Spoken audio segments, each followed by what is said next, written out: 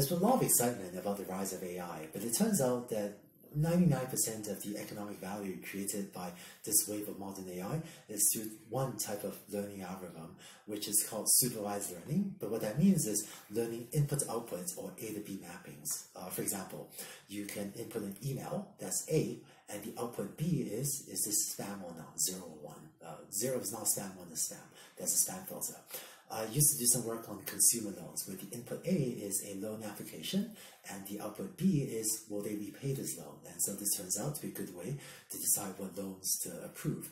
Uh, machine translation, input English, output Hindi, speech recognition, input an audio clip, output a text transcript.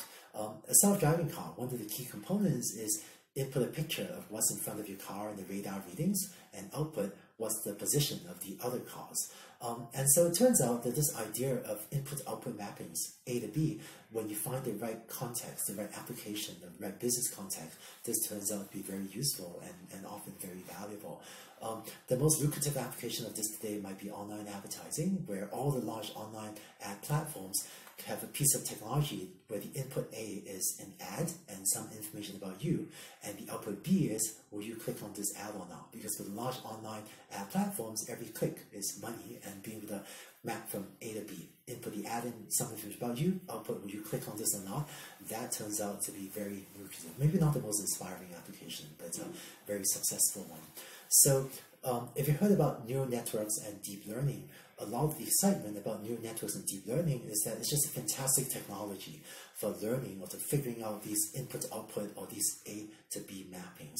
And uh, sometimes people ask me, hey Andrew, what's the difference between deep learning and a neural network? The two terms mean almost the same thing, all very, very similar things. It's just that uh, the term deep learning, you know, is maybe a better sounding brand. So that's the term that took off in the last several years. But um, really, several decades ago, um, neural networks were maybe very loosely inspired by the brain, but there's a type of software that simulates um, computations very loosely inspired by the brain. The details are completely different by the brain, but there's a little bit of inspiration there. And hence, these types of software wound up being called neural networks. So let me try to define deep learning, machine learning, and artificial intelligence. Artificial intelligence is the biggest category. Machine learning is smaller, and deep learning is even smaller. So AI encompasses a lot of different techniques. Uh, you can have software that learns to play games like chess or Go. Uh, that's AI. Or you can figure out how to get a robot to find the shortest path to move from you know here to there. Um, that's also a type of AI.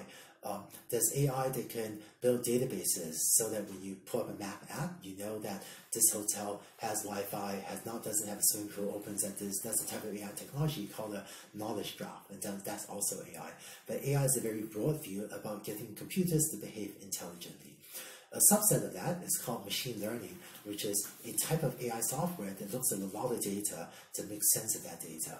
For example, if you show a computer thousands of pictures of cats and you tell it, hey, learn to recognize cats, that's machine learning because it's looked at data, namely thousands of pictures of cats, and has learned how to recognize cats. Maybe not the most important application, but for some reason in the AI world, we like to use cat examples, but lots of uh, maybe other more interesting examples.